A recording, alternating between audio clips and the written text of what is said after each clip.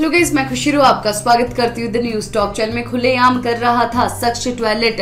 और front page पर अखबार ने छाप दी फ़ोटो चलिए, हम आप लोगों को बताते हैं, ये लेटेस्ट अपडेट है।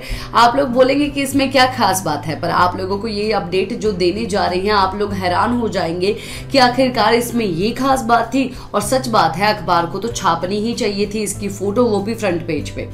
चैनल को ज़रूर सब्सक्राइब कीजिए बेल आइकन को दबाइए, इस वीडियो को लाइक कीजिए शेयर कीजिए। ये जो पूरा मामला है, ये न्यूयॉर्क से आ रहा है। अभी आप लोगों को पता होगा कि हमारे इंडिया में काफ़ी सारे लोग जो है, वो दीवारों पे सुसु और दीवारों पे पान, पराग, ये वो सब चीज़ें फेंकते हैं।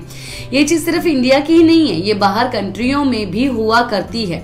इसी दौरान ही एक शख्स जो है दीवार पे जाके सुसु कर रहा था और उसी दौरान ही एक जो अखबार है उसने फ़ोटो खींच ली और ये अपने गाँव में काफ़ी ज़्यादा फ़ेमस हो गया। इसको बाहर निकलना काफ़ी ज़्यादा मुश्किल हो गया।